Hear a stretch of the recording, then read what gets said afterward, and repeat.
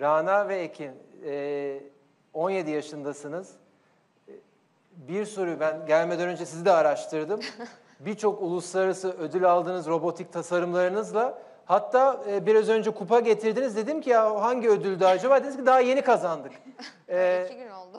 İki gün oldu. Yani bu e, ve oluşumunuzun adı Integra. Biliyorum sadece siz de yoksunuz.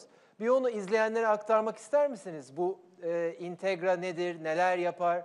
Önce sen başla istersen Ekin, sonra Rana sen devam edersin. Aslında Vakıfbank voleybol bayan takımımız hani nasıl ülkemizi temsil ediyorsa biz de robotik alanında temsil etmek için çalışıyoruz.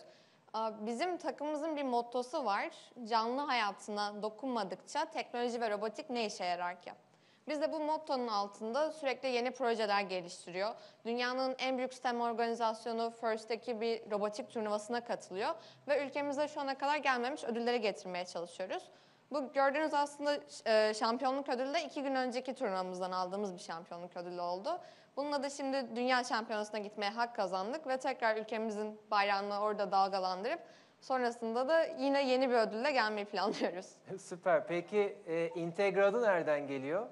Ee, Ben biraz takımdan ve katıldığımız turnuvadan bahsedeyim. Şimdi e, bizim okulda bu First Vakfı'nın düzenlediği birkaç turnuvaya katılıyor. E, 9. sınıfta katıldığımız turnuvada aslında takım ismimiz Intersection.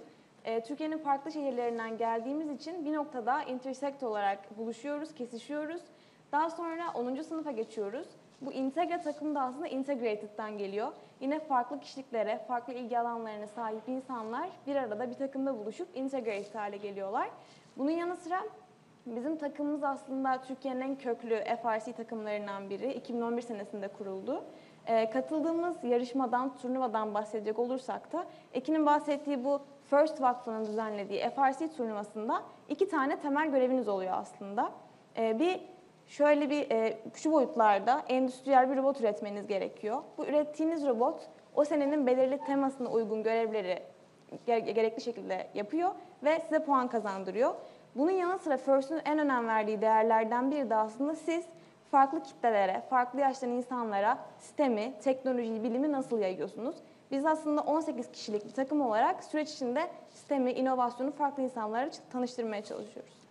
Şimdi 18 kişilik bir ekibiz ama bu ekibin içine de baktığınızda 12 kız 6 erkekten oluşan bir grup bu. Ve hani iki kız olarak da bunun içinde yer almaktan çok büyük mutluluk duyuyoruz. Çünkü hani gelecekte hem bizlerin de sözü var. Bizler derken hem kızların hem de gençlerin sözü var. Çünkü gerçekten de nasıl hani uzay mimarisinden bahsedebiliyorsak şu an ileride de bunu oluşturacak gençler biziz ve bu yüzden de bu tarz işlerin içinde yer almaya çalışıyoruz. Gerçekten tebrik ederim. Harikasınız. Ger-.